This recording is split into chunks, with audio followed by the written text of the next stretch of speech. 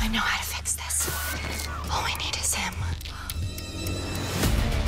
Ladies, wake up! We're safe here. Maybe we stay? Go.